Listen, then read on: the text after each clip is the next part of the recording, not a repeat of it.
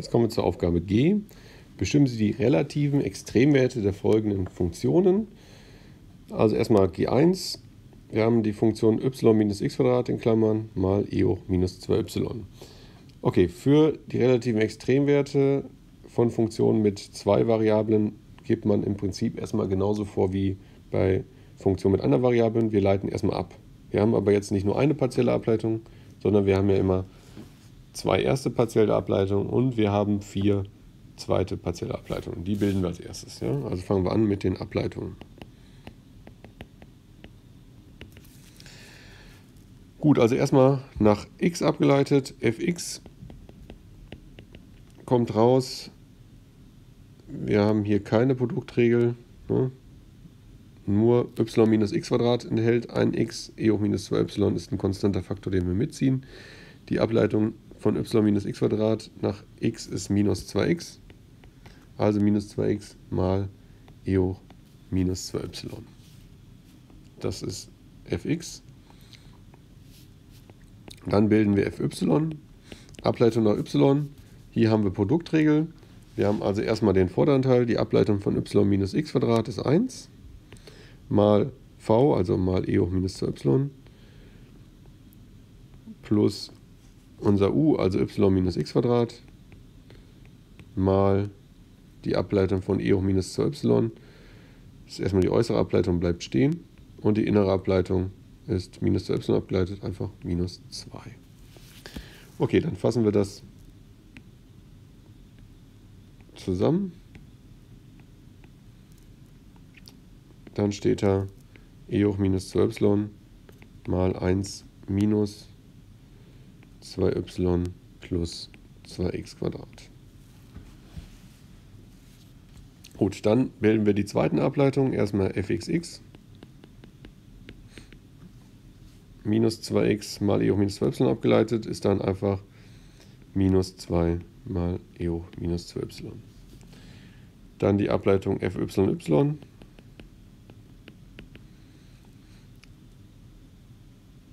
Wir leiten also das hier erneut nach y ab. Haben wir wieder Produktregel. e hoch minus 2y mal minus 2. Schreibe ich die minus 2 einmal davor. Also minus 2 e hoch minus 2y. Den Rest schreiben wir ab. Plus u, also e hoch minus 2y mal v'. Ableitung davon ist hier einfach minus 2. Ja, das heißt, dann haben wir e hoch minus 2y mal minus 2 minus 2 ist minus 4 plus 4y minus 4x Quadrat. Okay, dann kommt noch die gemischte Ableitung, also die Ableitung fxy.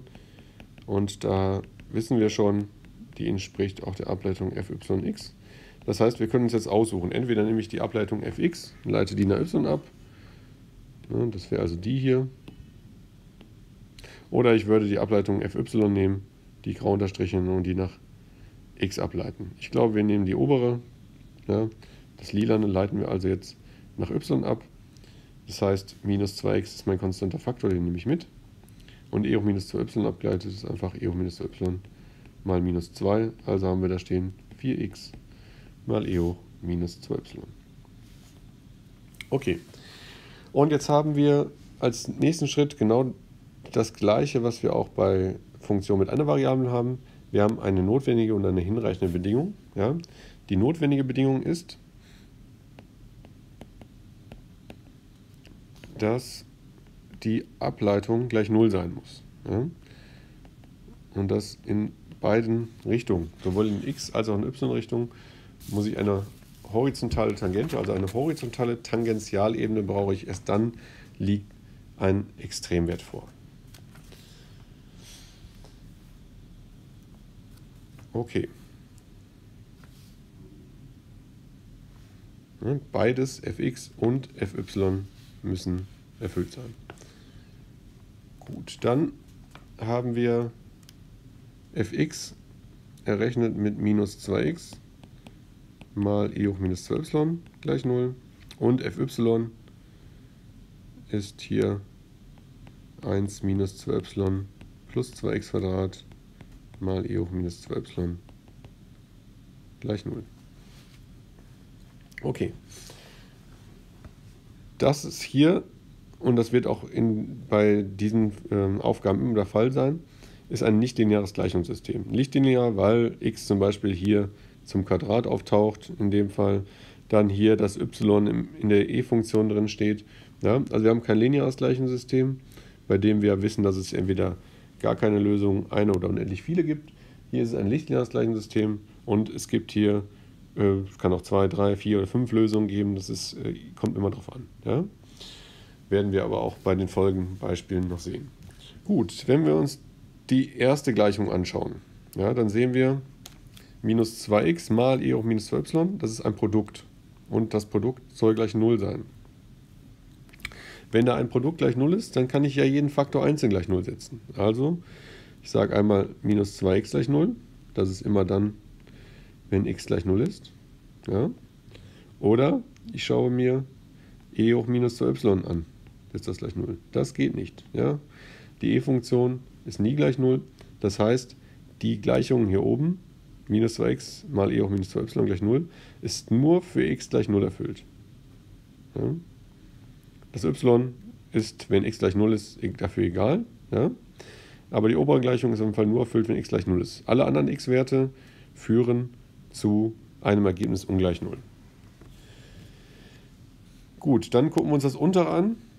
Bei dem unteren ist auch wieder ein Produkt. Ne? Wir haben eine Klammerterm mal die e-Funktion. Bei der e-Funktion wissen wir, okay, die ist wieder ungleich 0, die kann nicht gleich 0 sein, das ist gleich wie oben. Das heißt, wir gucken uns jetzt nur noch den Teil an, e1 minus 2y plus 2x gleich 0. Ne? Wenn dieser Faktor 0 ist, dann ist das ja auch erfüllt. Wir wissen aber, dass die obere Gleichung nur für x gleich 0 erfüllt ist. Ja? Das haben wir gerade schon gesagt. Also die obere Gleichung ist nur für x gleich 0 erfüllt. Das heißt, das setze ich jetzt ein. Ja? Für x gleich 0 habe ich 1 minus 2y gleich 0. Und das heißt, y ist gleich 1,5. Das heißt, der Punkt, der, der uns jetzt interessiert, den wir anschauen müssen, ob dort tatsächlich ein Extremwert vorliegt, ist x gleich 0, y gleich 1,5 und ein z-Wert, den wir noch nicht kennen. Ja? Den können wir jetzt ausrechnen, aber lassen wir jetzt erstmal. Das ist auf jeden Fall der Punkt, für den wollen wir jetzt schauen, liegt da tatsächlich ein relativer Extremwert vor. Ja? Und da gibt es jetzt die hinreichende Bedingung. Hinreichende Bedingung. Und die hinreichende Bedingung ist d mal fyy minus fxy zum Quadrat und das muss größer 0 sein. Nur dann liegt ein relativer Extremwert vor.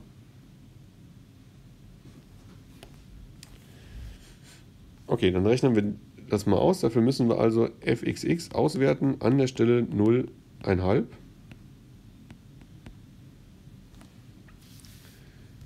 Kommt raus minus 0,7358. Dann werten wir fxy an der Stelle 0,5 aus. Kommt 0 raus. Ja. Und dann werten wir noch fyy an der Stelle 0,5 aus. Kommt minus 0,7358 raus. Okay, dann rechnen wir das d aus. d ist dann minus 0,7358 mal minus 0,7358 minus 0 Quadrat kommt raus 0,5413 und das ist größer als 0 und wenn d größer als 0 ist, dann wissen wir, wir haben einen relativen Extremwert. Wir wissen an der Stelle nicht, ob es ein Maximum oder Minimum ist. Dafür gucken wir jetzt noch fxx an. Also wir schauen nochmal fxx an der Stelle 0,5 war minus 0,7358. Das ist kleiner als 0 und deshalb haben wir ein Maximum bei 0,5.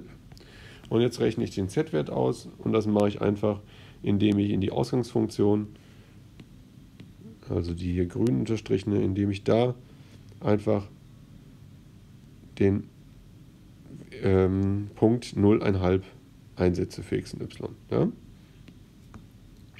Kommt dann raus 0,1839. Ja? Das ist also das Maximum. Wenn jetzt hier fxx größer als 0 gewesen wäre, dann hätte ich ein Minimum an der Stelle gehabt. Was wäre, wenn d kleiner 0 ist? Ja, für d kleiner 0, das ist jetzt unabhängig von der Aufgabe, liegt ein Sattelpunkt vor.